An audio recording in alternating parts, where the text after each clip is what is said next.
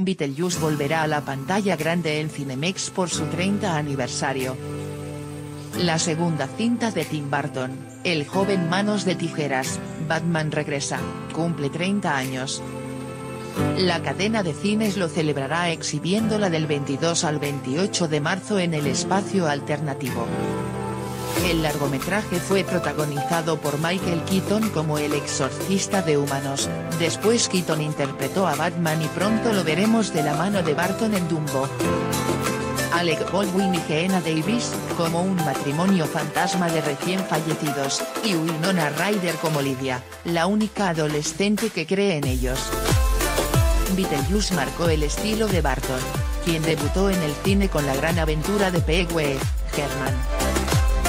Desde su primera cinta, colaboró con Danny Elfman en la música, y solo en algunos films no han hecho mancuerna.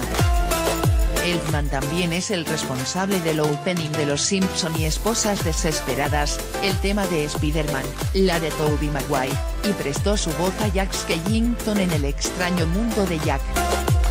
No te pierdas la oportunidad de revivir este clásico de Tim Burton, con la icónica secuencia del comedor, también te puede interesar, spoiler alert.